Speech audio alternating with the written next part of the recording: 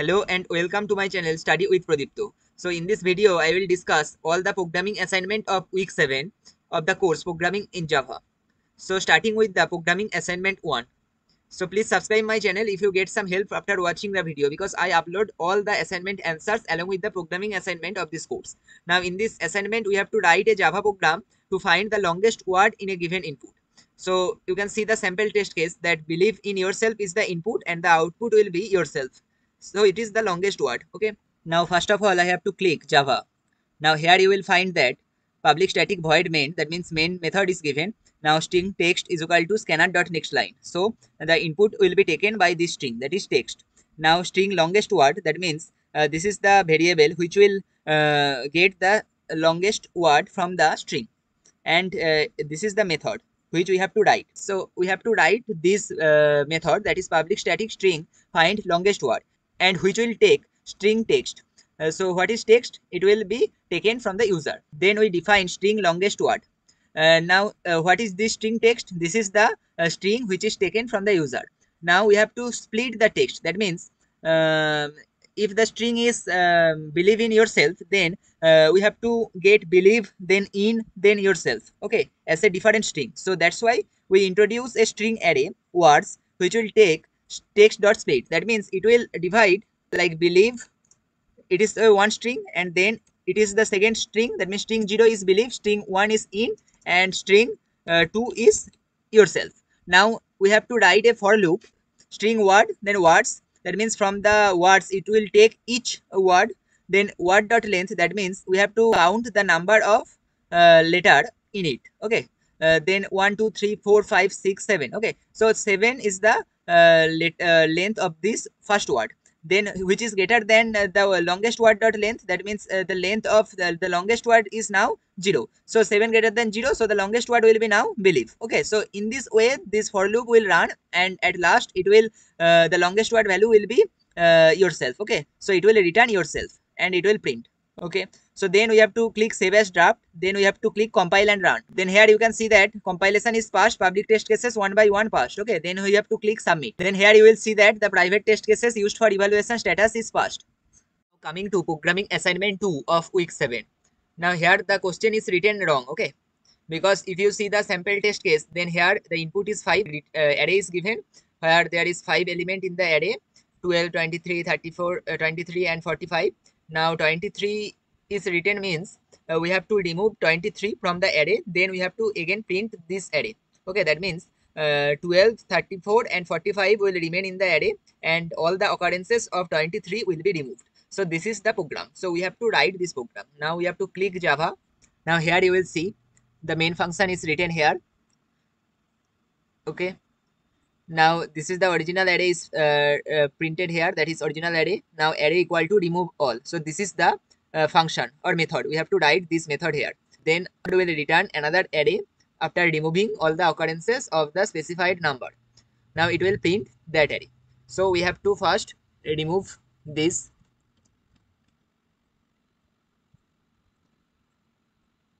Now after removing all the comments here the function is this. This function will take the array and the element to remove. Now int result equal to new int array dot length. So we created another new array. Now int index is equal to 0 now int value from array that means we will iterate through the array then copy only if the current element is not equal to the element to be removed. Okay, okay. that means if value not equals to elements to be removed element to remove then we have to write result then index plus plus. That means it will first store uh, the value in the index then it will increase the index value. Okay? Then we have to click save as draft and then we have to click compile and run. Now here you will see that compilation is passed one by one is passed okay? Then we have to click submit. So now here you can see that the private test cases used for evaluation is passed now, in this programming assignment 3, we have to write a program to compute the sum of all the prime numbers in a given range and the range value will be positive. Okay. So, if you see the sample test case, the lower limit is 4 and the upper limit is 13 and the prime numbers between 4 and 13 are 5 7 11 and 13 and if we sum these four numbers then we will get 36 okay so we have to write this code now first click java then here you will see that public static void main that means main function is given and the uh, function or method is prime sum okay? Uh, and xy means here 4 and 13 so we have to write this method. Now we have to write the function that is public static int then prime sum is the name of the method. And it will take int x comma int y then we have to write the logic now this is the method we have to write and I take the parameters int x and int y. That means 4 and 13 for the sample test case. Now int sum is equal to 0. So we have to return the sum which is the sum of all the prime numbers between this, this range that is x and y. Now I uh, take another variable that is int flag is equal to 0. Then write one uh, outer for loop that is int i is equal to x that means from 4 to 13 it will run and then flag is equal to 0 and for int j is equal to 2 to j less than is equal to i by 2 that means it will go from 2 to uh, i by 2 uh, what will be the i value? It will go uh, till i by 2 then i uh, modulus j is equal to is equal to 0 if uh, it is true then flag plus plus. So that means flag value will increase. And after uh, from coming out from this loop if the flag value is still 0 then sum plus is equal to i. That means this prime number will be added to the sum now at last we have to return the sum then I have to click save as draft. Then I have to click compile and run. Now here you will see that the compilation is passed. Public test cases one by one passed. So then I have to click submit. Now here you will see that the private test cases used for evaluation status is passed. Now coming to the fourth assignment. Now this is programming assignment 4 of week 7. Now in this uh, programming assignment we have to write a code to create two threads. One printing the event numbers that is event number thread and the other is printing the odd numbers that is odd number thread. Now the print numbers class is declared which will implement the runnable interface. Now if you see that, if you click here Java, then here you can see that the class print numbers implements runnable. Okay, as mentioned in the first line. Now create a constructor of this class that takes two private instance variables start and end to represent the range of numbers that will be printed by the thread and create a run method that is required by the runnable interface that contain the code that will be executed when the thread is started. In the case, it should print odd number within the specified range using a for loop. Okay. Now, here if you see, it is the sample test case.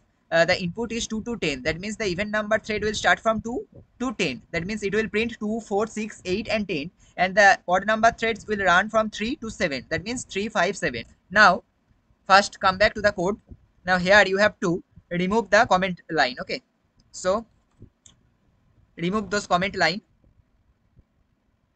Now after that here you can find that private int start is one variable and private int end is another variable okay? And here is a constructor that is public print numbers. And if you see the main method then here you will find that new print numbers event start event end. So event start and event end are two integers variable okay? So in the constructor you have to write int start and int end okay? Int start and here you have to write int end now this dot start equal to start and this dot end equal to end. Then here in the public void run method here you have to write the i will start from start and it will go till end okay? That means from the starting value it will go till the end value and it will increment by 2 because event number like 2 then 4 then 6 next system dot out dot println thread dot current thread dot get name. It will call the thread name. Here you can see that thread dot current thread dot get name returns the name of the currently executing thread. Okay. So that means if the event thread is executing then it will print that event thread. Okay. Then the number. Okay. Plus i. So here uh, i have written the code.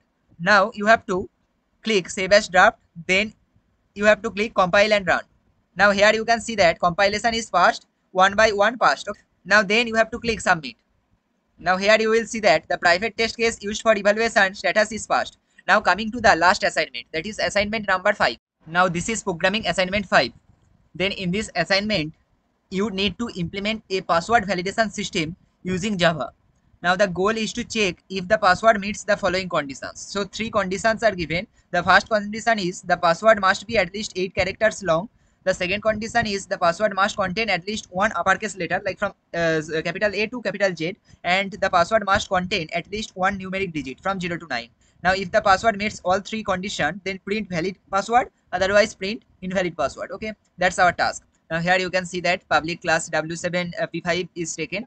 Now private string password and uh, a constructor is also there. Now here in the main method you can see that uh, string input password is equal to scanner dot next line. So input is taken from the user next uh, this is the constructor okay? Now check password validity and print result. Now this is the uh, method that is is valid password okay? Uh, so it is a boolean uh, method and uh, if it is true then system.out.print valid password and else uh, invalid password. Now i write public boolean is valid password. So this is the method which is called from the main method okay? Is valid password and which will take input password. That means we have to define the parameters here that is string password. So now password is here. Now if the password dot length less than 8 that means uh, it will return false okay?